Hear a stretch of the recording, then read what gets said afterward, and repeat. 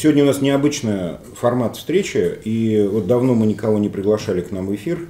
И вот здесь так получилось, что нам удалось заманить сюда трех э, больших специалистов в трех областях. Это э, политология, экономика и социология. Арсен Нуриджанов, э, Всеволод Спивак и Владимир Савичев. Такое количество научных степеней и достижений немного меня смущает. Я выбираю роль модератора и роль человека, который будет распределять вопросы между людьми.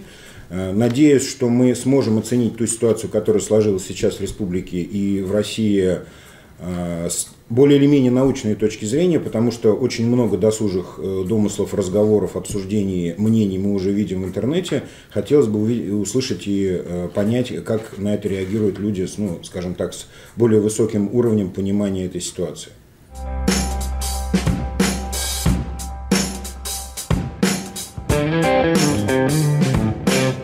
Первая тема нашего обсуждения – это события 23 января в России в целом и в особенности в Уфе, в Башкирии. Что это было, как это отразится на ситуации в республике.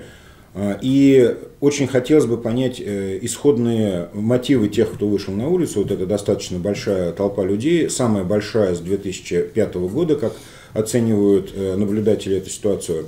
Ну и первый вопрос, э, вернее, первым спикером, я, наверное, думаю, что будет э, Владимир Леонидович, э, в том смысле, что ну, интереснее всего это понять с точки зрения источников вот этих вот возмущений. Был ли это только Навальный или какой-то комплекс проблем в республике?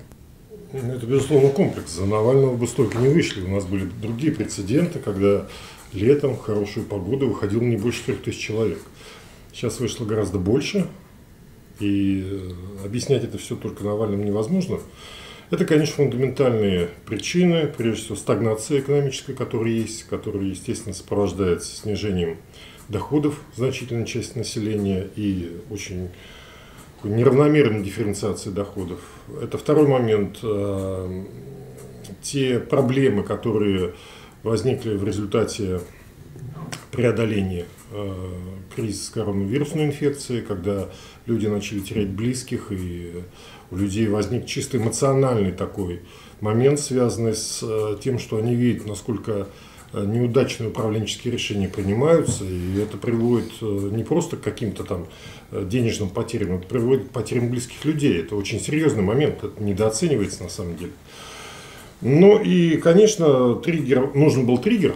Триггер он появился, это был повод для того, чтобы выйти, повод для того, чтобы что-то высказаться. Но вот к этому поводу подсоединились еще и свои какие-то небольшие группы со своими интересами, со своим желанием э, заявить о себе, обозначить свою значимость. Поэтому вот то, что мы видим, это такой конгломерат очень разных мотивов, очень разных социальных групп, очень разных э, целей, которые они перед собой ставят, но появился единый повод, который их вывел. Они посмотрели друг на друга и сказали, да у нас оказывается много. И они, это получился такой эффект э, взаимоусиления. Поэтому э, как бы все только на Навального ориентировать невозможно, потому что мы видим, что в Москве, например, вышло даже меньше людей, чем выходило как бы, в пиковые э, митинги за Навального. То есть это вот тоже говорит о том, что там как бы немножко другие причины, чем просто вот связанные там с фильмом или с возвращением Навального.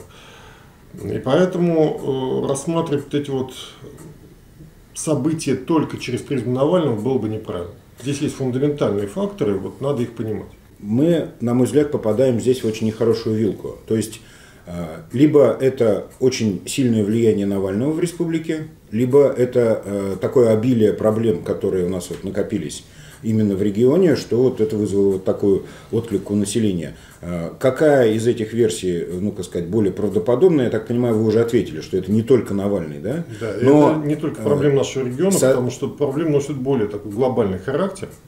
они характерны в целом для всей ситуации в мире, идет, э, по сути, обрушение прежней модели жизни, прежней модели получения дохода. И люди, конечно, немножко дезорганизованы. То есть понятно, что за год очень многие потеряли, но они не понимают причин этого всего. Тут я не соглашусь. Уфа показала численность вышедших на улицу существенно выше многих крупных городов России, и говорить о том, что это везде одинаково, наверное, не получается. То есть Челябинск нет, Э, там Пермь нет, э, даже Екатеринбург ну, меньше. Ну, это, Уфа третье место в России. Это еще один фактор. Ну, тут опять же вопрос э, спорности цифр, потому что разные цифры называют. Я все-таки ориентируюсь на цифру 5000, мне кажется, ну, она наиболее... Тем не менее, она выше, чем, и даже цифра 5000 выше, а чем это эти просто говорит о том, что у нас э, немножко сменилась парадигма внутренней политики, и вот игра в э, протест, она стала, ну, такой Э, как бы общепринятой. Э, ну, есть вообще на федеральном уровне понимание, что регионы периодически начинают пугать федеральный центр разными сложностями, которые у них там есть. Например, вот в свое время Меркушкин пугал тем, что у них там рост национализма в Мордовии. Хотя, если мы посмотрим, а Мордва, наверное, это самое э, так, такой этнос, не то что миролюбивый, а тот этнос, который уже как бы э, понял для себя э, новый путь э, как бы, трансформации и идет по нему. То есть там э, то, что касается там, мордовского этнического какого-то там протеста, это, ну, это абсолютно единицы. Но тем не менее умудрялись пугать. Вот у нас такая же ситуация возникла. То есть когда появились определенные, так скажем, силы, определенные Э, люди, для которых э, очень интересно продемонстрировать этот протест, для которых очень интересно там, показать, что вот они нужны, потому что этот протест надо как-то вот сглаживать, как-то его убирать. И поэтому где-то вот эти моменты, они инициируются. Причем инициируются, конечно, там, негласно, инициируются не в открытую, ну вот результат этого мы увидели, потому что действительно для Уфы это немножко необычное количество. Есть, ну, вы сейчас э, говорите о том, что во многом некоторые группы протеста были, э, ну, условно говоря, инициированы, были сподвигнуты на этот протест непосредственно теми, кто занимается у нас внутренней политикой. Я правильно вас понимаю? Никто занимается внутренней политикой, потому что здесь вот надо быть очень точными. А те люди, которые э, могут инициировать фактор, влияющий на внутреннюю политику. Понятно. Потому что здесь говорить о том, что у нас как бы все политические ресурсы только в Белом доме, это не совсем правильно. Согласен. Ну, тогда логично вопрос экономисту. Все вот вам. Э, насколько действительно под э, недовольством населения в целом по России и в республике лежит ну, вот то падение экономического уровня, которое мы наблюдаем, это бесспорно оно существует, конечно. Насколько это достоверно и насколько коррелируется между собой степень вот этого протеста и степень там, падения уровня жизни или, там, например, реальных доходов населения? Э, реальные доходы населения на самом деле падают. И что самое страшное, это то, что мы уже э, не видим путей э, выхода из этого тренда. То есть э, мы не можем сказать, какие драйверы роста должны быть. Политика э, власти уже оторвалась от бизнеса, и она даже людям не говорит то, что происходит, она говорит совсем друг, на другом языке. Вот. И в дальнейшем, я думаю, будет только ухудшаться. То есть люди на самом деле не видят, откуда должны появиться драйверы роста экономического. Это проблема информирования или это фундаментальная проблема состояния на данный момент? То есть это мы плохо, условно говоря, правительство, там, экономический блок плохо говорит о том, что он делает, или действительно там все очень плохо и ничего не делается? Э, проблема в том, что управляющая верхушка уже в принципе не понимает операционно, как э, строится бизнес, как он регулируется и что происходит в бизнес-процессе. У них есть некий набор цифр, на которые ориентируются. А, но которые без понимания а, сути явления, они лишь их обманывают. То есть мы, допустим, видим а, увеличение заработной платы. Ну что такое увеличение заработной платы? Это, по сути, происходит просто обеление экономики. То есть фактически люди опережающим темпом теряют, теряют доходы, те, которые у них были, но при этом в статистику выходит э, рост заработной платы. Тоже допу- самый, допустим, с ростом ВВП. То есть мы видим э, интересный пример, когда у нас э, последние несколько лет э, падает ВВП, да, и при этом, ну или там в районе нуля оно колеблется, и при этом э, Мишустин гордится тем, что на 80% собираются налоги. Откуда эти налоги собираются? Конечно, из тех доходов, которые раньше не были учтены. И задача правительства в данном случае же это не максимально собрать налоги, а обеспечить достойный уровень жизни граждан и достойные до, доходы их. И в этом этом плане а, налоги это или доходы это вторично. Раньше люди зарабатывали и могли их тратить. Сейчас они их не могут тратить. Я правильно понимаю, что э, сработало некое интуитивное понимание населения, которое ну, не особенно разбирается в каких-то сложных экономических процессах, но сработало интуитивное восприятие того, что ситуация ухудшается, и как бы что там ни говорил телевизор, но люди, условно говоря, уже э, больше смотрят не в телевизор, а в холодильник. Ну, смотрите, часть людей э, на самом деле это просто чувствует. Это не интуитивное понимание, это вот то, что они чувствуют, то, что, как это у них происходит. Это одна э, часть людей. Вторая часть людей, которые понимают и думают, они видят телевизор и понимают, что те космонавты говорят о чем-то непонятном для них. То есть вот то, что говорят они, и то, что происходит здесь, это колоссальный разрыв.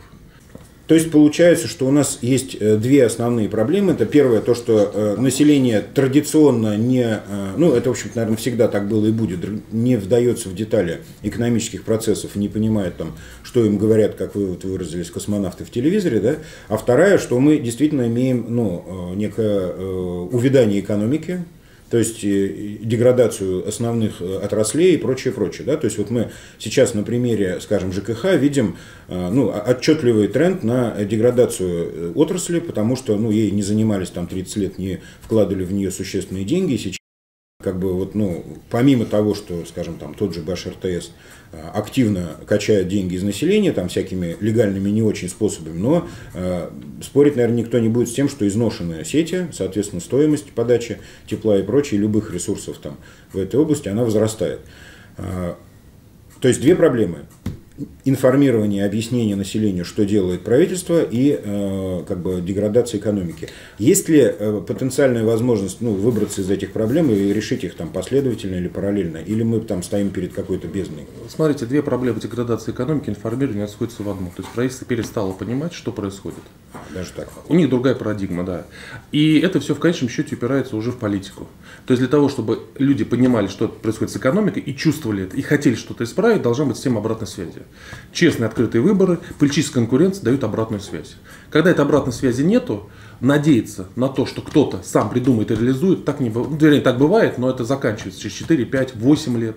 Но это невозможно 20-25 лет генерировать новые идеи, оставаться а, в контакте с, с изменениями.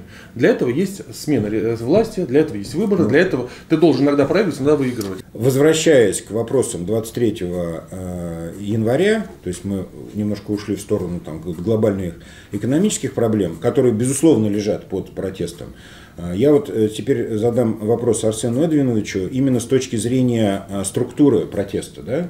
Наверняка вы э, внимательно отслеживали, смотрели, то есть э, как выглядела вот эта вот протестная масса 23 января. Насколько она, по-вашему, изменилась качественно в возрастном значит, каком-то аспекте, в, скажем, интенсивности, а, агрессивности требований, ну, скажем, по сравнению с предыдущими крупными акциями, которые были в Уфе, так, наверное, будет корректнее сравнивать, да?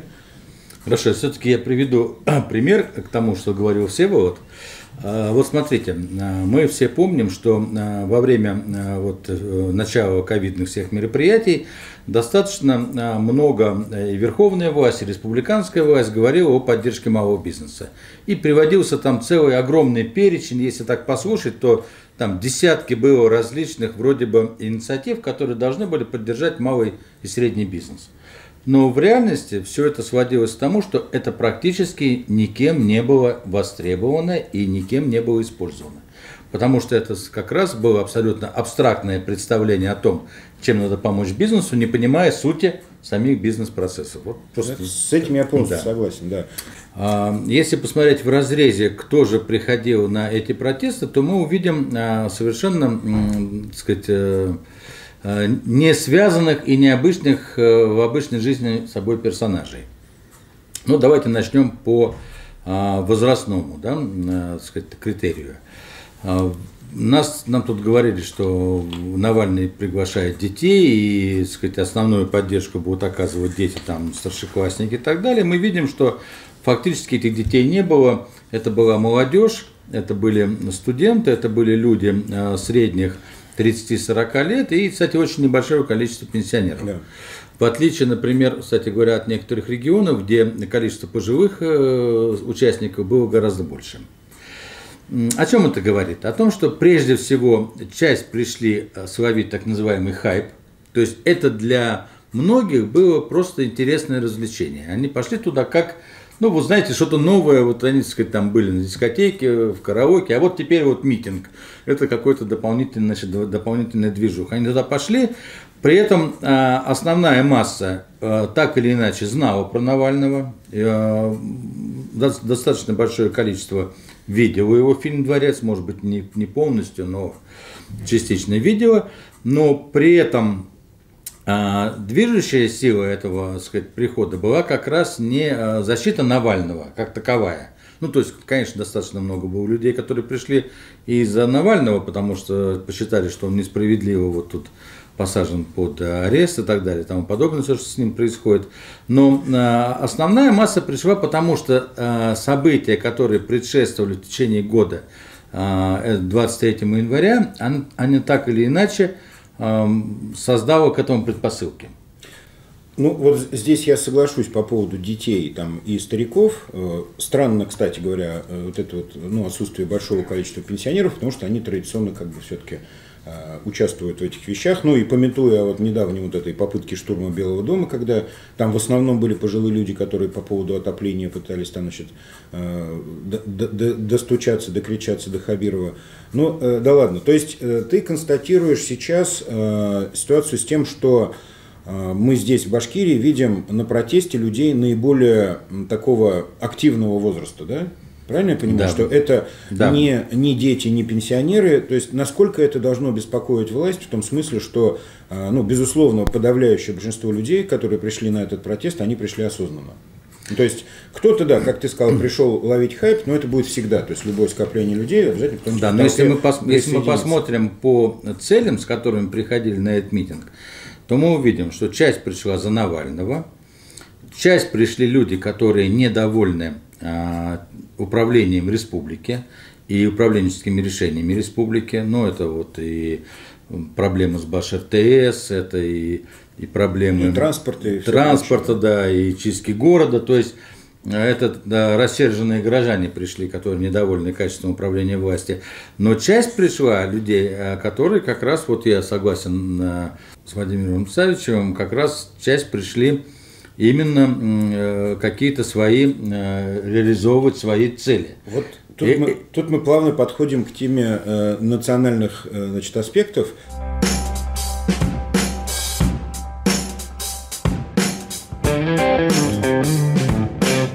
Мы все видели на этом мероприятии 23 января ну, достаточно заметную роль вновь появившихся национальных объединений. Да?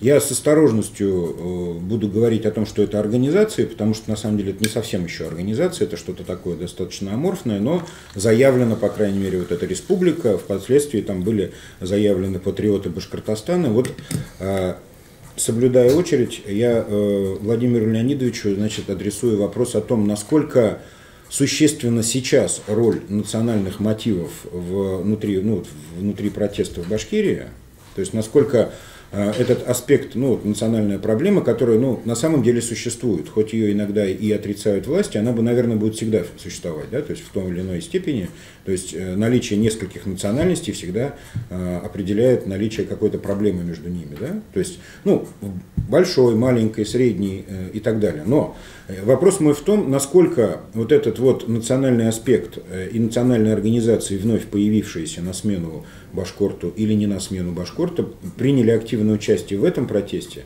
насколько они э, пытались воспользоваться, условно говоря, ну, иными обстоятельствами в свою пользу, и какова их перспектива, на ваш взгляд, ну, для развития или там, для серьезного участия в политической жизни Башкирии?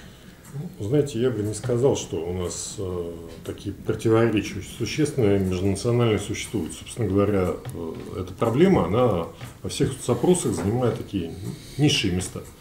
Это проблема самореализации тех активистов, которые хотят на этнической идее сделать себе имя, сделать себе некий статус и так далее.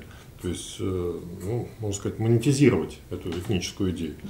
Поэтому у нас она будет настолько сильна, насколько она будет поддержана серьезными политическими игроками. То есть я правильно понимаю, что вы все-таки адресуете вот эту активность э, конкретным людям, э, ну, конкретным лидером, условно говоря, вот этих вот вновь появившихся организаций, а не к запросу внутри Я бы не сказал, что на организация. какую-то- Я бы сказал, что это... э, Но пока это кружки, да. Да, кружок активистов, которые хотят на этом сделать э, какую-то организацию, что-то возглавить.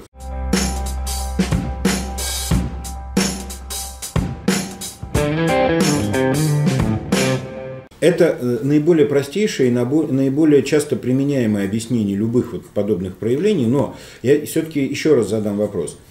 А, Вы а, исключаете необходимость и потребность внутри этноса, ну конкретно, например, башкирского этноса, в какой-то реализации, вы исключаете то, что внутри э, башкирского сообщества существует какое-то недовольство тем, в каком состоянии находится сейчас.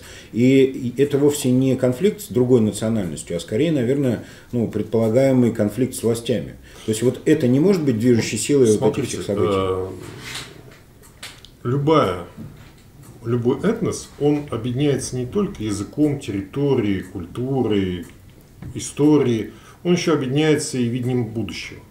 То есть, кто мы будем завтра? Зачем мы вот здесь все объединились? Сегодня есть, безусловно, кризис вот этой идеи будущего у башкирского этноса. Потому что то, э, что произошло в годы советской власти, по сути дела, э, государство предложило свою концепцию развития, и как не сопротивлялись, но в итоге эта концепция развития оказалась очень удачной, потому что, давайте посмотрим, у нас Мустай Карим, да, фигура, все прочее. Вот 30 лет как бы, суверенитета республики. У нас есть э, деятель культуры сопоставимый вот, по авторитету, по значимости Конечно. Радик Ильякшин. Ну, Совет- советник главы республики. Знаете, это может быть здесь, а на уровне Российской Федерации это вообще никак. Я, То есть, конечно, если мы не- говорим о Расуле Гамзате, Чингизе Атматове, там, э, Мустае Кариме, это там Сайфи Кудаша, ну, там еще был ряд э, имен, которые, в общем-то, были известны на союзном уровне. Сегодня есть такие имена. Сегодня, ну ладно, там можем говорить об Абдразакове, но они в очень таком узком сегменте любителей оперного пения. То есть это не настолько значимое явление, как, допустим, вот был Мустай Карим. То есть мы видим, а, что эти 30 лет, они, в общем-то, не дали такого эффекта с точки зрения развития культуры, этноса, как то, что было в советские времена. То, что говорится, вот там зажимали, не давали и так далее. Но подождите, мы видим, сформировалась техническая интеллигенция, сформировалась э, гуманитарная интеллигенция, сформировался огромная про- прослойка учителей. Уже это не единицы, это действительно социальная группа очень мощная. А, Люди получили образование там медицинское и так далее, и так далее. Мы сегодня видим что-то похожее. То есть это было же абсолютная новизна. То есть это в этносе появились совершенно новые люди, совершенно новым виде совершенно новыми возможностями, совершенно новым пониманием кадровых лифтов и так далее. Сегодня это есть? Нет. И вот возникает такая э, проблема. А как сегодня найти вот эту новую какую-то тенденцию, как сегодня организовать эти кадровые лифты? Я тогда э, задаю вопрос встречный. Значит, вы констатировали, э, ну, действительно, это на самом деле был вопрос скорее риторический, да?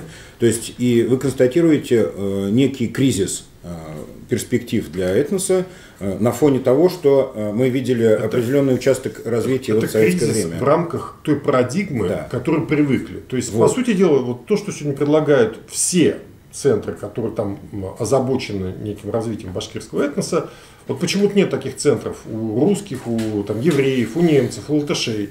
Хотя как бы, все живут, все развиваются, но нет такой проблемы, такой озабоченности. Нет, это, это скорее вопрос э, масштабов, то есть нельзя сравнивать, э, условно говоря, там, э, немецкую нацию с башкирской по размерам и по Я обстоятельствам имею в виду немцев, которые живут, вот остались еще у нас А, здесь. ну Где этнические группы Да, Башкирии. этнические группы, да. У нас 160 в республике этнических групп, этносов и так далее. А, Мы сегодня видим кризис в чем? Все, что предлагается, это все архаика. Тогда я вопрос переадресую э, Арсену Нуриджанову, и э, вопрос будет звучать так. Кто должен быть генератором вот этой концепции, вот отсутствие которой мы выяснили вот, э, с Владимиром Савичевым, да, значит, вот мы констатировали, что этой концепции нет, а все, что предлагается, все отвергается, либо является очень архаичным. Не- не совсем. Кто будет э, генератором этой концепции? Не совсем Владимир Савич это сказал, он сказал немножко по-другому. И э, тут э, единственное, что я могу сказать, первое. А, действительно, э, 30 лет назад при поддержке государства существовала система, которая помогала становиться таким, как Мустай Карим. Да? Э, литературный институт переводчиков в Москве, да, то есть целенаправленная программа федеральное развития национальных меньшинств у нас республик, выделяемые на это деньги. Сегодня этого нет. Мы вступили в другую эпоху. Да? У нас теперь капиталистическое перераспределение. Кто должен быть? Так сам вот башкирский этнос должен сам быть этим вот спонсором своих э, Мустаев Каримов. Должен строить бизнес – и с этого бизнеса оказывать э, благотворительность, как раз помогать писателям, поэтам, музыкантам. Этого не, ну, но этого не происходит. Это Почему? Слишком, слишком абстрактно звучит. Ну как слишком абстрактно? Нет, это не абстрактно как раз. Это как раз ситуация следующая. При советской власти привыкли сиську сосать, грубо говоря.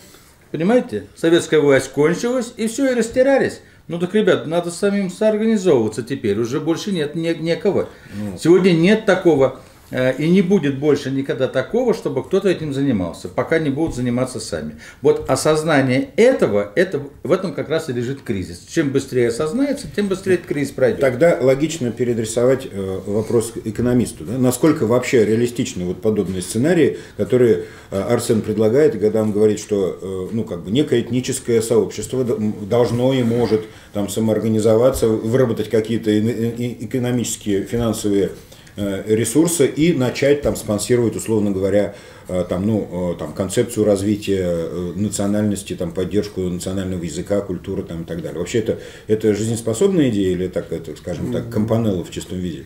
Нет, я соглашусь, наверное. Вопрос в том, что если бы была бы потребность том, чтобы э, формировать э, некий Мустафа Каримов, была бы потребность там, в национальной культуре, в национальной литературе, в национальных фильмах, то количество э, башкир, около двух миллионов, да, если не ошибаюсь, там, как считать, как, как считать, да, то есть, ну, не башкирия в целом, то их вполне достаточно для того, чтобы сформировать устойчивый спрос на продукты, собственно говоря, как и культура, да, так и, собственно говоря, какие-то бытовые вещи, конечно.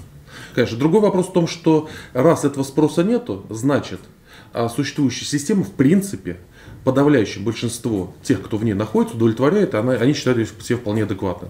И здесь я возвращаюсь о том, что мне кажется, я могу ошибаться, я не нахожусь же внутри это, а, проблема, которая сейчас а, мы обсуждаем, она в значительной степени искусственная и политически мотивирована. А, даже так. То есть вы утверждаете, что э, реально не существует запроса на развитие башкирской культуры, не существует запроса на Э, развития, скажем, там, э, каких-то талантов и ну, там, каких-то выдающихся людей, э, ну, я не говорю уже там о сувенирной продукции и прочих вещах, то есть вы полагаете, что этого запроса внутри этноса не существует? Он не, не существует в той степени, чтобы перейти из абстрактных хотелок в конкретный спрос. Ну, тут я, я, экономист. Тут я соглашусь, да, что человек начинает за что-то платить ровно тогда, когда ему Конечно. необходимо. Да. 2 миллиона человек. Это вполне достаточно для того, чтобы формировать собственную идентичность не только на уровне разговоров, но и на уровне определенного спроса на какие-то продукты.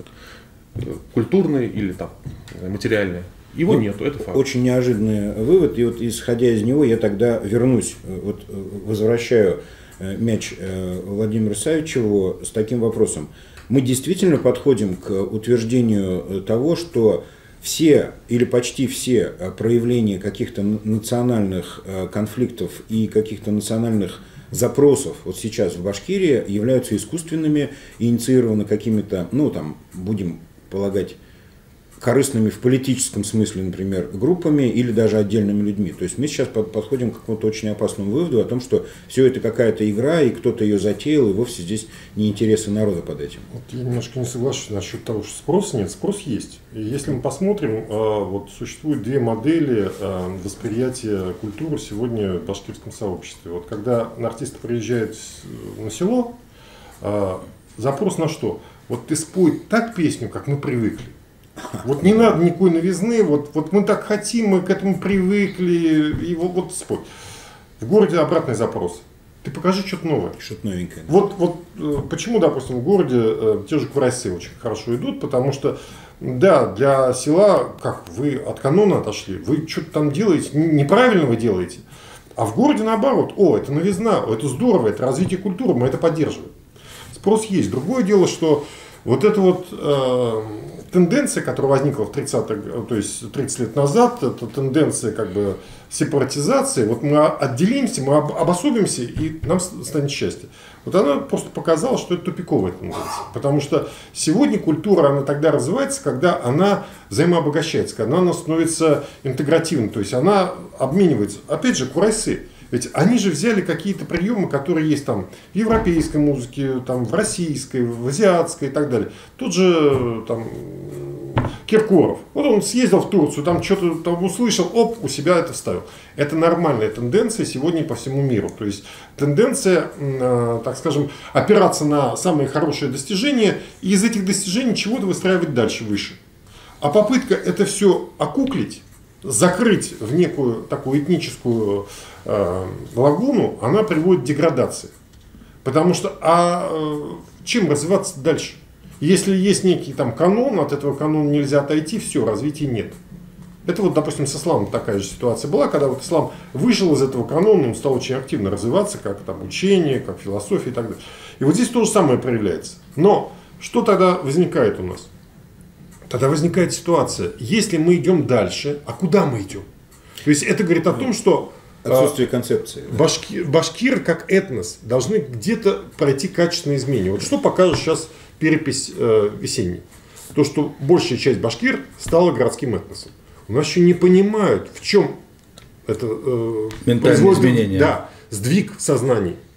А это уже есть сдвиг. Да, кто-то в первом поколении и так далее. Но это сдвиг, безусловно. К этому не готовы. И вот эта вот вся попытка найти где-то во вчера некий такой уникальный образец – от того, что давайте мы вернемся к вотчинным землям, или давайте мы вернемся к служилому сословию, или мы давайте вернемся вот э, к тем нашим просветителям, которые были там э, типа Акмула и так далее. Понимаете, э, с, когда вы повернулись в вчерашний день, вы в завтрашний день не придете. Вы будете ходить по кругу. Тут я немножко не соглашусь, потому что помимо, ну, безусловно, наверное, пагубных вот этих вот рефлексий, когда люди начинают пытаться решать э, современные проблемы при помощи там, архаичных инструментов, тут я согласен с вами. То есть попытка найти вот в прошлом э, рецепты для решения современных уже э, нынешних проблем. Но существует еще ведь и историческая память, и историческое пристрастие. То есть вот, эм, ну, наверное, никто не будет отрицать потребности человека в самоидентификации в национальном смысле. Да? То есть, э, где бы мы ни жили, кто бы мы ни были, мы все равно пытаемся осознать свою вот эту вот, свои корни. Вот. Во-первых, это никто не будет отрицать, но здесь есть одно «но». Дело в том, что у нас э, примерно с 50-х годов сложился очень четкий тренд, который продолжается уже больше 50 лет. У нас э, в среднем 30% браков это межнациональные браки. За это время у нас сформировались семьи, Э, в которых там бабушки, дедушки и так далее, они из разных этносов. И даже формальный брак мононациональный, но выясняет, что человек воспитан в поликультурной семье. У нас на самом деле в республике большинство, это не русские, не башкиры, не татары, большинство, примерно 70% населения, Метис. это люди, воспитанные в поликультурной среде. Вот это новая реальность от которой нас всячески пытаются оттащить, и всячески людям пытаются э, сказать, ты определись, ты кто? И у нас сегодня есть уже среди молодежи очень значительная часть, которая говорит, отстаньте от меня с этим вопросом. Вы, это вопрос такой дурной, типа, да, ты кого больше любишь, маму или папу? Вот и, здесь. И люди не хотят а, вот этого самоопределения. Их буквально силой втаскивают. Они говорят, уйдите. Мы, вот мы те, кем мы есть. Вот у меня есть друзья, у меня есть родственники. Я со всеми с ними хочу нормально общаться, а вы меня втаскиваете в какую-то другую идентичность которая мне не нужна, она мне мешает жизни. Тем не менее, вы мастерски не ответили на мой вопрос. Я мастерски ответил на ваш вопрос, потому что э, тут другой парадигмой надо мыслить. Я, я понимаю. Не нет, парадигмой я, старых этносов. Я У нас сегодня общество перестраивается. Общество сегодня выходит на какую-то новую э, модель консолидации, на какую-то новую модель идентичности. Вот что надо изучать а не пытаться людей механически, э, так скажем, разделить ну, по старым критериям. Загонять в какие-то уже отжившие, по сути дела. Я все-таки настаиваю на своем вопросе о том, что все те проявления вот этих вот национали... национальных, националистических, э, значит, э, условно говоря, претензий, ну, которые мы сейчас наблюдаем, вот, э, будь они э, искусственные или действительно искренние, являются ли они продуктом ну, как бы политической или даже финансовой корысти отдельно взятых групп? И это есть. Или это все-таки какое-то инстинктивное проявление? Люди ищут э, свою идентичность, люди ищут вот тот круг, в котором им хорошо, комфортно, замечательно. И это, в общем, естественно для любого человека. Но когда им начинают навязывать некие модели, с которыми они не совсем согласны, это уже искусственная вещь. И вот то, что мы сегодня видим, это э, отчасти, ну, даже не отчасти, а в значительной степени э, искусственная попытка э, сконструировать некую вчерашнюю идентичность, э, которая уже не может нормально развиваться в современных условиях. Потому что чего хочет современная молодежь? Она хочет быть успешной. Но для того, чтобы быть успешной в республике, надо не обособляться, а надо интегрироваться. Надо быть своим для всех. И это другая модель идентичности. То есть у нас была сделана попытка там, сформировать башкортостанцев. Ну, абсолютно искусственная идея. Она как бы не имеет под собой почвы, потому что, а где вот та вот культура и так далее, которая, допустим, обособляет нас от челябинцев, там, от татарстанцев, от оренбуржцев и так далее. Э, это тоже все, это территориальная идентичность, это не политическая идентичность на самом деле. То, что у нас попытались сделать, ну, это тупиковый путь, на самом деле. Вот у нас есть общегражданская идентичность российская. И чем это хорошо? Это единый экономический рынок. Это единое научное пространство, это единое культурное пространство. И здесь ты можешь быть, э, ну, у тебя больше возможностей для развития, потому что э, если ты, допустим, талантливый там, артист, ты будешь талантливый для очень широкой аудитории, и ты действительно состоишься. А если ты выбрал себе очень маленькую аудиторию, вот посмотрите, мы в свое время восхищались прибалтами, ну, для нас это была прям икона почти европейцы. Кто из прибалтов сегодня вообще как-то интересует кого-то из россиян? Вот я имею в виду из деятелей культуры. Никто. Из Потому деятелей, что... Из деятелей культуры нет, но технический они... прогресс они экспортируют очень успешно. Какой? Ну, например, программное обеспечение экспортируют, но не создают. Если создают, мы посмотрим, создают в том числе. Создают это огромный, белорусы. Э, нет, Потому огромный, что в Беларуси на сегодняшний нет, день 8%. Вот Эстония сейчас крупнейший э, поставщик. Сколько э, процентов от вала внутреннего продукта они делают на IT-технологиях? Больше 10 в Эстонии. Где такие да, центры? Больше 10, да. Ну где там такой центр? Вот, ну, они экспортируют, они реэкспортируют, да. А вот то, что делают э, в Беларуси, вот э, World of Tanks, это четвертая ну, по капитализации игра в мире. Да, да, да. Она сделана там. То есть, э, помимо всего прочего, что у них есть, там, Но она тоже глобальная. с Вайбером, далее. При этом она тоже ну, глобальная. Естественно, естественно. А по-другому не может Тут быть. Я согласен.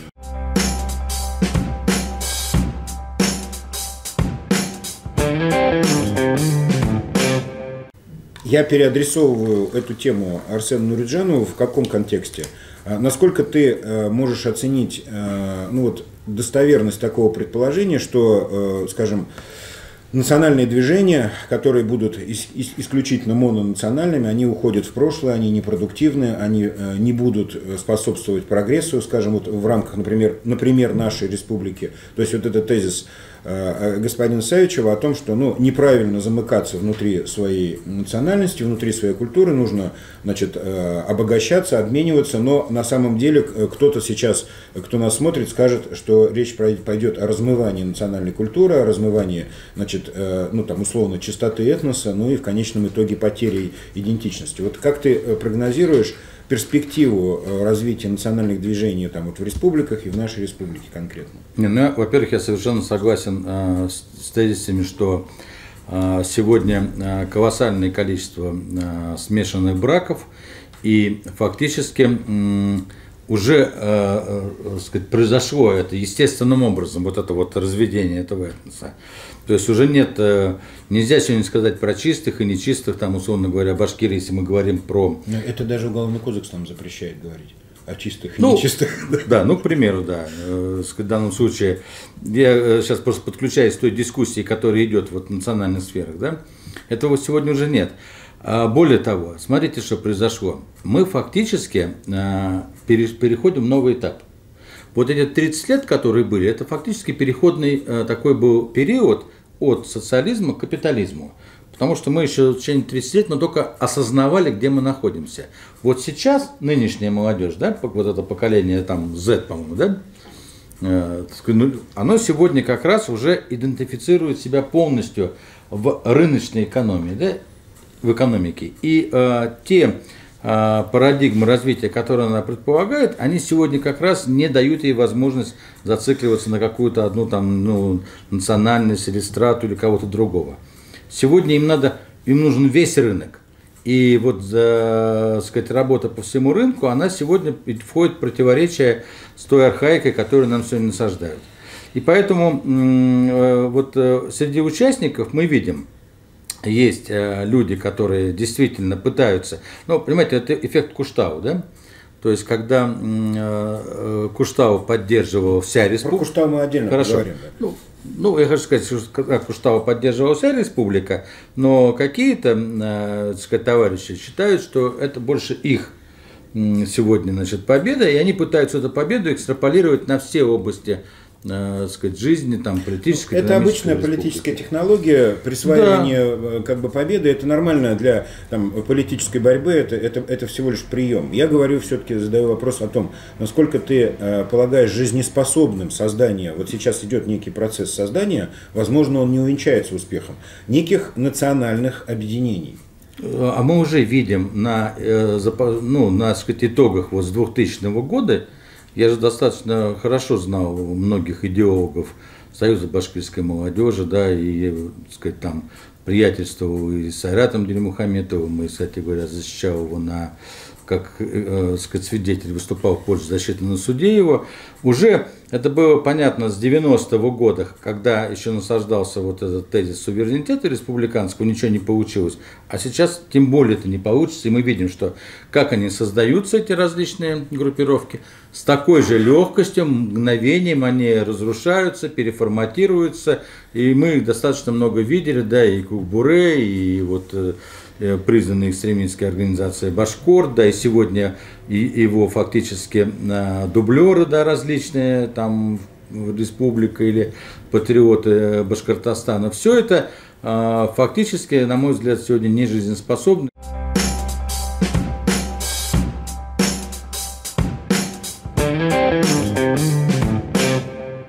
Насколько существуют в России, ну, в российской экономике, в механизмах регулирования этой экономики, насколько существуют э, ресурсы и возможности не допустить, э, условно говоря, вреда от э, ну, появления каких-то, значит, ну, условно, сепаратистских э, процессов внутри э, э, регионов, да, то есть, ну, условно говоря, если вдруг какой-то регион начнет говорить о том, что мы там едим только башкирское и там и продаем и покупаем и на конкурсы допускаем только башкирское, насколько Российская Федерация способна, во-первых, ну, ее экономика этому противостоять, а вторая часть вопроса это, насколько вообще это может нанести вред, ну, потенциально для нашего развития, там, притормозить его или даже э, обернуть вспять. Ну, сначала я вопрос запомнил. Сейчас хотел сделать ремарку по относительно того, что мы раньше говорили. Мы очень сейчас часто говорили слово «искусственное». Мы говорили о том, что национальное движение это ангажировано либо личными амбициями, либо условно финансовыми интересами. Но, э, несмотря на то, что я сказал тезис, что сейчас не чувствую спроса на эти движения, тем не менее, я общался, я знаю людей, которые искренне переживают за свой язык, за свою культуру и которые стараются что-то с этим сделать.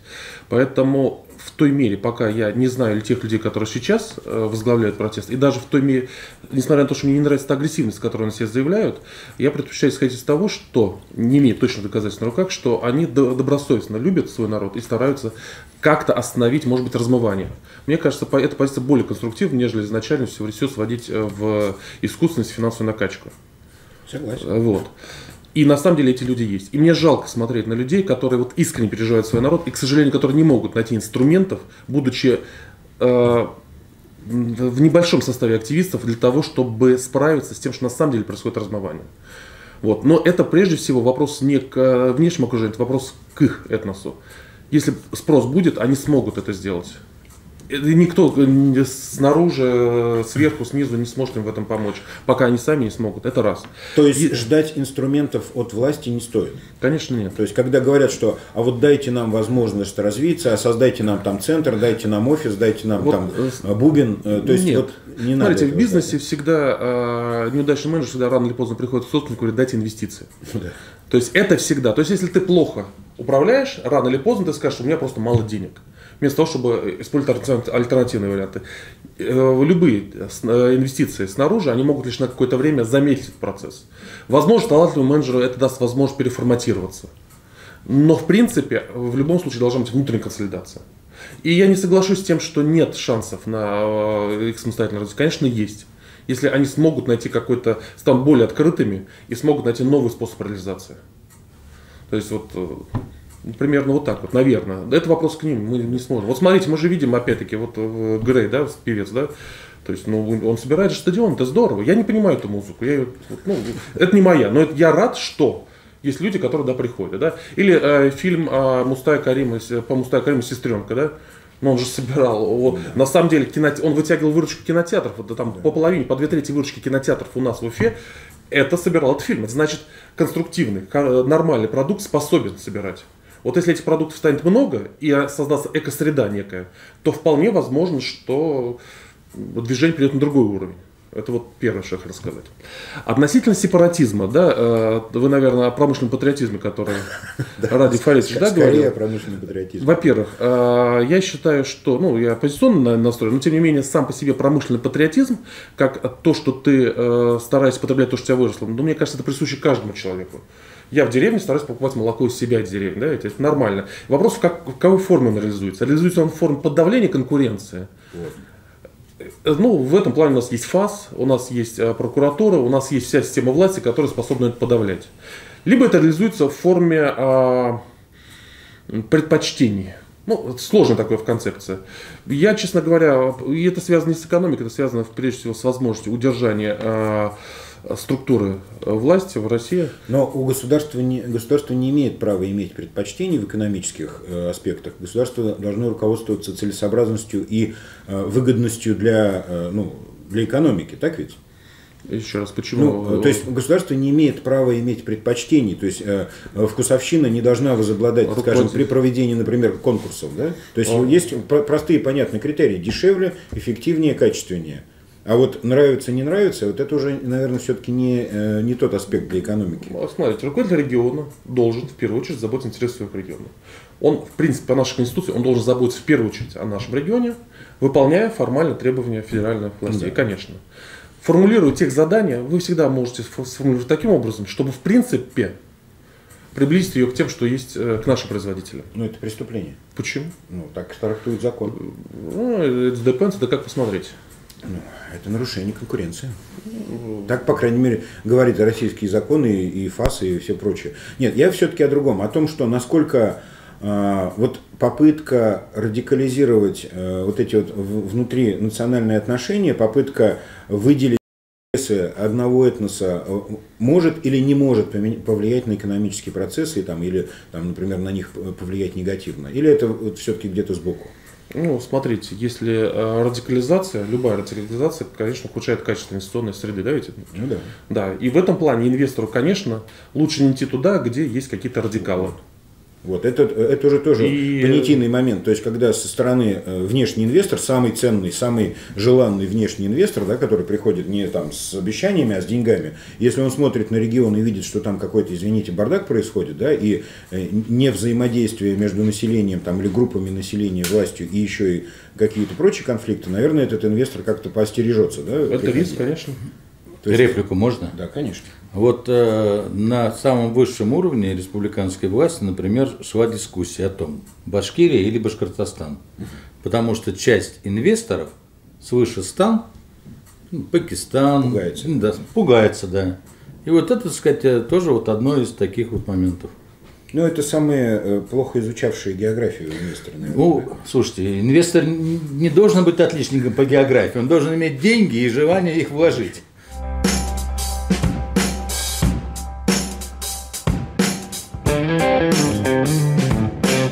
Ну, не можем не поговорить о Куштау, и особенно в контексте уже вот, ну, случившихся потом событий, в том числе и э, политических, экономических. Э, сейчас бытует мнение о том, что ну вот Куштау это был какой-то ящик Пандоры, э, что вот его открыли, и вот теперь, значит, ничто это не остановится, и дальше пошло какое-то там самоосознание, самоопределение башкирского народа и вообще населения, там, и так далее, и так далее. Ну и традиционно э, сначала я этот вопрос адресую господину Савичеву. Как вы оцениваете возрастание вот этой вот э, политической инициативы после событий на Куштау? То, о чем мы говорили, хочется вот один момент э, обозначить. В нашем обществе сегодня очень много разных групп интересов. берем мы там татар, русских, берем мы там христиан, мусульман и так далее, очень много разных групп интересов. И это обусловлено тем, что сегодня у нас другая ресурсная база, другая интеллектуальная база, у нас больше кругозор, мы выезжаем за границу, и поэтому дифференциация интересов, она только нарастает. Поэтому, когда мы с вами говорим о таких вещах, как э, этническая идентичность, здесь не надо думать, что там есть некое большинство. Там на самом деле конгломерат интересов. Если мы говорим власть, то же самое. Не надо думать, что это что такое монолитное, в чем там нет внутренних противоречий, внутренних интересов, там, конфликтов и так далее. И вот э, Куштау интересно как раз тем, что это демонстрация того, на каких идеях люди могут объединиться. Потому что сегодня вот у нас в республике это одна из э, таких сложных проблем, вокруг чего людей объединить. Вот Куштау дал возможность объединиться, причем и той, и другой стороне.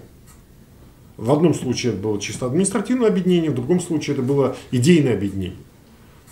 Э, то, что э, там как бы самореализовались определенные активисты от башкирского движения, но это как показывает, что для представителей других этносов, которые там участвовали, это было не главное. Главное для них было, была экология. То есть вот на этой земле должно быть чисто, хорошо, замечательно. А э, как бы свои культурные там, права или там интересы мы реализуем в другом месте и по-другому. Для нас это не принципиально. Вот это э, очень такой важный момент. Почему для башкир это было важно? Потому что в башкирском движении, а какие были победы, вот реальные победы за последний век? Никаких. Вот чисто в башкирском. Вот сейчас пытаются из Шимуратова сделать национального башкирского героя. Шимуратов был советский офицер. Причем офицер с очень шикарным послужным списком. Когда он был и нашим аташе в э, Китае, и возглавлял Кремлевский полк и так далее, извините, там его продвигали не потому, что он башкир. И не потому, что надо было для башкир сделать там военного героя. Его продвигали как советского офицера – наравне со всеми остальными, с Рокоссовским, там, э, Горбатовым, Жуковым и, и так далее. Вот ты выполняешь свои обязанности, молодец, ты великолепно это умеешь делать, давай, мы тебя продвигаем дальше. И поэтому вот эта попытка сделать из него э, некого башкирского героя, она удивительна. Зачем? Ну, это отдельный вопрос, я могу на это, него ответить, это, если это, хотите. Это вопрос тоже к это... Куштау. То, не, то же самое, делать из Куштау некий символ того, что это победило башкирское движение, ну, для само, как бы, ощущения некоторых людей это, может, и есть, но для все, все остальные воспринимают это по-другому. Нет, стоп, я все-таки разверну это э, в иную плоскость. Я не говорил о том, что э, Куштау стало каким-то триггером для башкирского движения. Я задаю вопрос о том, насколько вот эта очевидная победа на Куштау, то есть так она и трактуется, и так она воспринимается широкими слоями населения, насколько это будет неким навыком для дальнейших событий, политических событий, протестных событий. То есть насколько это именно тот ящик Пандоры или это не так?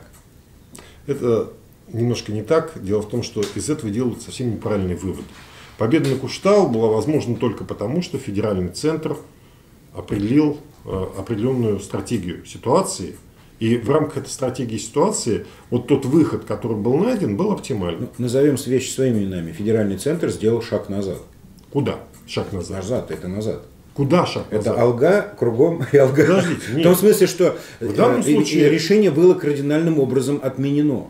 Чье решение? Ну, решение э, республиканских властей о том, что отдается... Но это же не было решения федерального центра. Нет, федералы на момент, когда возник этот конфликт, не участвовали в этом всем. Они вмешались в конце. Ну, мы имеем в виду формальную сторону, конечно. Мы понимаем, что внутри, э, как вы правильно заметили, что там очень неоднородная и власть неоднородная, конечно, и конечно. экономические группы да. очень многообразны, да, да. И, и их лоббистские способности различные. Но формально власть не это рвануло, потому что вроде как это в вяло текущем процессе так и продолжалось, и вроде бы там обо всем уже договорились год назад э, на уровне министра и так далее.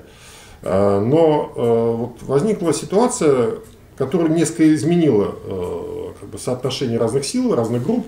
И э, как это очень часто бывает, когда что-то внутри меняется, нужен какой-то э, такой бой, который продемонстрирует изменение соотношения сил. Угу. Вот этот бой состоялся. Кто-то есть... считает, что выиграли общественники. Это вот только благодаря общественникам и так далее. Это не совсем верно. Дело в том, что у нас подобные вещи без поддержки со стороны определенной элитной группы, определенной группы, которая во власти, не может быть. Естественно, да. Вот, поэтому то, что здесь совпали интересы, ну и то, что потом федеральная власть смогла продемонстрировать, что смотрите, мы сделали то, что хотели люди, это замечательно с точки зрения политической практики, с точки зрения вот, консолидации, то, что говорит, что власть совершенно по-другому видит ситуацию, да нет, там тоже живые нормальные люди. И когда они окунаются в гущу событий, они вполне адекватно все оценивают, и они вполне правильные решения принимают. Вот то, то что мы увидели. Но следуя вашей логике, тогда э, мы приходим к такому очень странному выводу о том, что Хабиров стал разменной монетой в этой ситуации. То есть его же, он, он выглядел максимально нелепо в этой всей ситуации, то есть отменяя собственные решения, значит, э, пытаясь вот э, очень неумело договариваться прямо на горе, а потом, ну, через день-два снова вступив в диалог с этими активистами. То есть вы предполагаете, что кто-то там наверху, федеральный центр, э, разменял его, ну, решая эту проблему и утрясая вот эту вот ситуацию. Ничто так? на Земле не проходит бесследно. И э, какие-то вещи, которые случаются, они имеют предысторию. Да. Вот. И здесь была определенная предыстория, почему, э, так скажем, сыграли именно так, а не иначе. Почему вот нужен был именно такой результат, а не другой. И понятно, что победила как раз та система, которая сильнее. И которая должна была сказать, что она сильнее. А как бы смотря на нашу республику, тут хочется сказать, что здесь у нас системы-то нет. Здесь есть объединение, но это не система. Группы по интересам. И поэтому она всегда будет проигрывать системе. Там, где есть э, системность э, в принятии решений, в э, реализации какой-то стратегии, это всегда будет выигрывать. Ну и Вот. второй печальный вывод – это то, что вы предполагаете, что все-таки роль э, общественности, роль вот этих вот групп, которые там принимали участие, я не говорю о национальных группах, а вообще вот об этих защитниках Куштау, это всего лишь роль статистов в чьей-то большой игре, да? Ну, самостоятельно роль она была бы обречена, а вот то, что удалось найти слитность интересов, вот это и позволило выиграть. В итоге, э, в общем-то, общество получило то, что хотело. Ну да. Ну, То, что хотело в большинстве своем. Да, в большинстве своем. А, Опять же, это правильно очень ремарка, потому что разные есть группы интересов, разные есть понимание ситуации. Ведь на самом-то деле э, и решать те технические, технологические проблемы, которые есть у суда, тоже можно по-другому. Сегодня «Газпром» предлагает такое решение. Вам что, СО2 не хватает? Вот у нас есть технология, которая в качестве побочки выделяет огромное количество СО2. Давайте мы вот это все объединим, Ну, синхронизируем это- и решим эту проблему. Это уже как раз вот сейчас я э, переадресую вопрос Всеволоду. А, Всех, безусловно, волнует ну, экономические последствия да, вот того, что случилось там. Даже не на Куштау, а вот потом в суде в арбитражном, да, в нашем вот это неожиданный разворот в сторону федеральной собственности. Значит, ну и, в общем-то, а, попытки которые сейчас начались, вялые, но начались, все-таки как-то оспаривать эти все вопросы. А, Если можно, то кратко и понятно. А, Башкирия в экономическом а, плане проиграла здесь, а, вот получив новую вот эту вот конструкцию собственности, или у нас есть все-таки надежда и перспектива, что мы хотя бы на том же уровне доходов останемся? Ну, опять-таки, ремарка по прошлым наступлениям. На самом деле, когда мы говорим, что общественность получила в большинстве своем то, что хотела, вопрос на самом деле очень дискуссионный. И вопрос дискуссионный на самом деле, насколько люди были готовы выходить за экологию. Для меня он дискуссионный, и более того, мы, наверное, сейчас сможем сойтись, потому что опросы сейчас уже ничего не дадут, когда нам надо взглянуть ситуацию до этой ситуации. Лично меня, э, мое возмущение, мое даже какое-то желание поехать вызвало не совсем не эта гора, я ее очень плохо знаю, и по большому счету вопрос дискуссионный, ее разрабатывать или не разрабатывать. Меня вызвало та, то отношение власти и те непонятные люди, которые пришли подавлять людей, которые выразили, пришли выразить свою позицию. И здесь может быть больше связи с 23 января, с Навальным, нежели с экологией, по большому счету. То есть людям не нравится, когда их просто подавляют. Вот э, для меня это была значимая мотивация. Я думаю, для многих других была зна- значимая мотивация. Я уверен, что большинство населения Уфы мало себе представляет, что такое Куштау, и мало дрожит. На самом деле это горой, не как символом, а как вот просто это горой. Ну, я так думаю, могу ошибаться. Если мы говорим о а, экономике, то э, я против того, что было на горе со стороны э, владельцев сода, да, но при этом с точки зрения экономической они делали все правильно. Они к власти, они договаривались, они предлагали бенефиции, они брали на себя бремя социальное, они поменяли один проект, они пошли ко второму проекту. А что еще должен делать нормальный инвестор в конечно. переговорах с властью?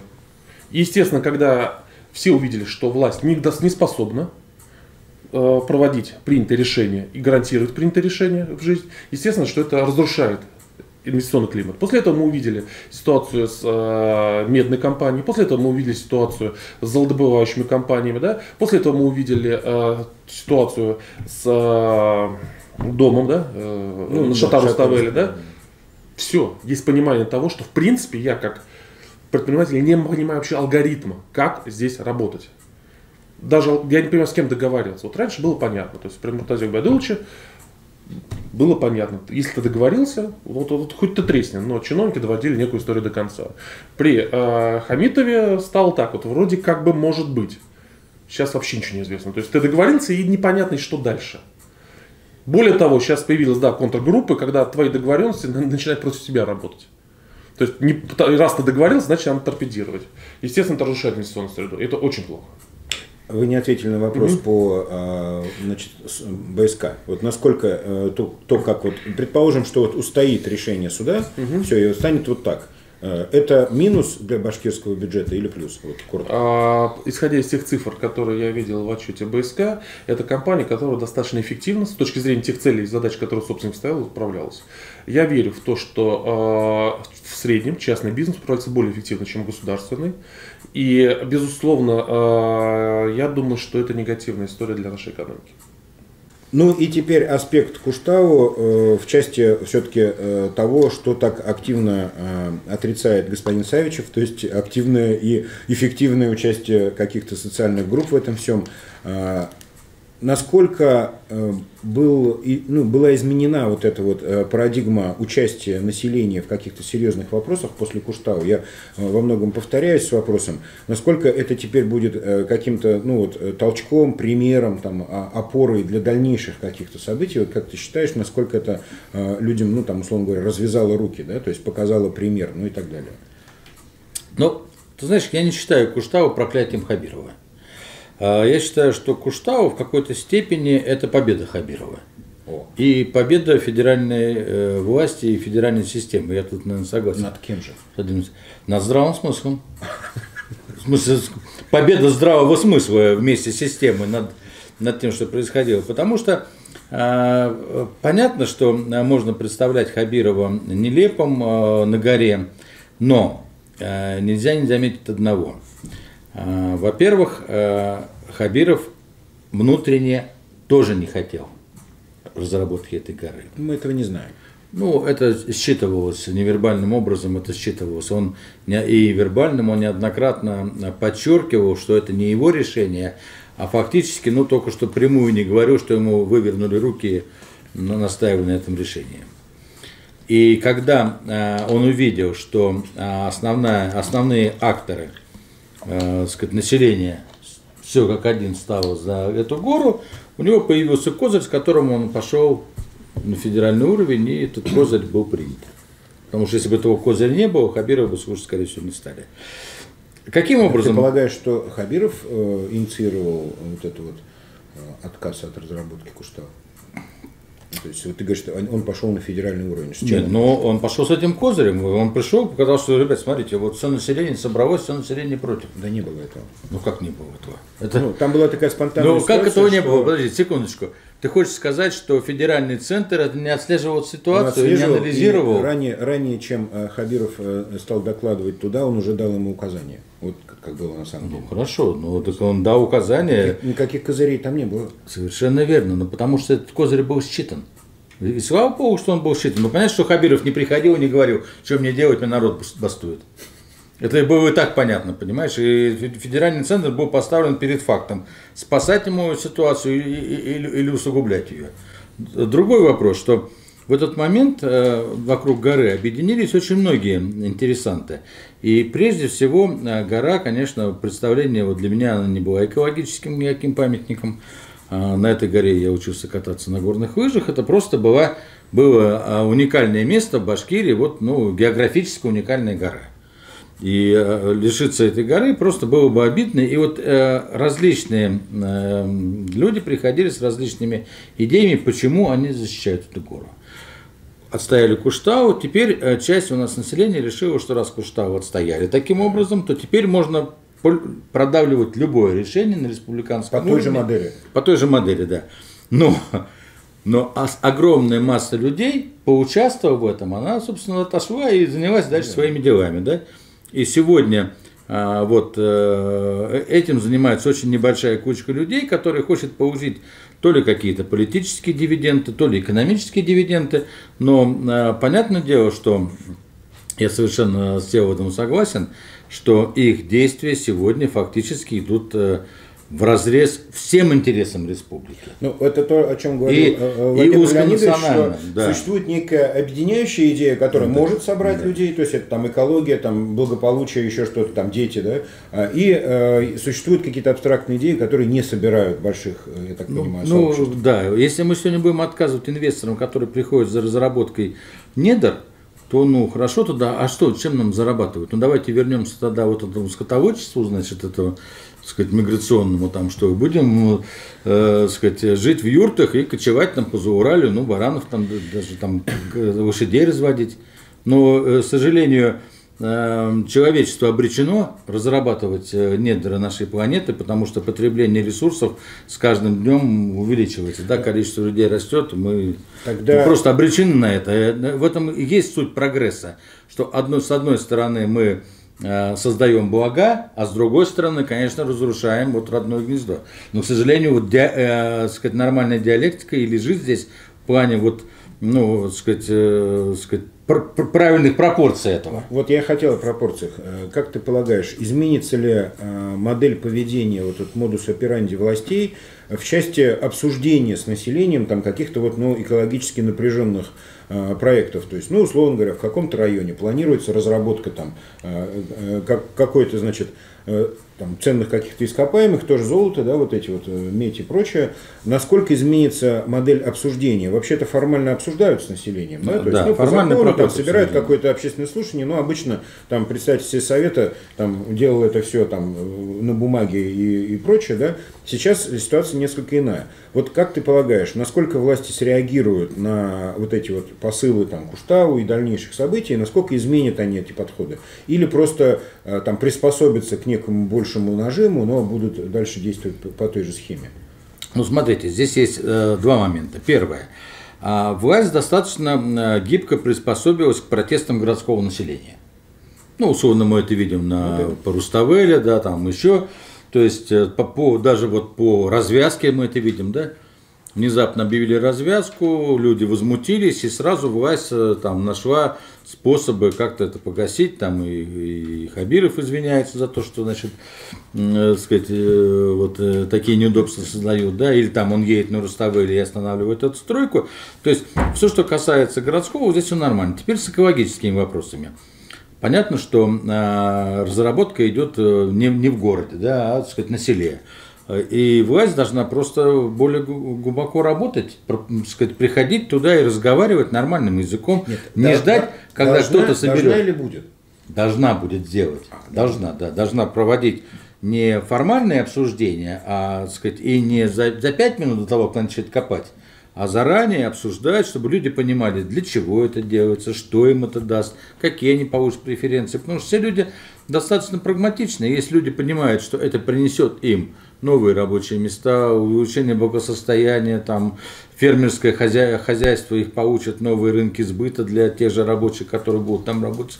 Ну, ну тут Но нормально и, все. И тогда э, финальный вопрос на эту тему. А как ты полагаешь, у нас в, в нашей нынешней конструкции власти есть люди и силы, которые способны таким образом изменить модель э, общения с населением? Ведь чиновники не поменялись, они, тот же Тажидинов как сидел, так и сидит. То есть кто из них ну, способен изменить вот этот модус операнди? Или ну, это просто мечты?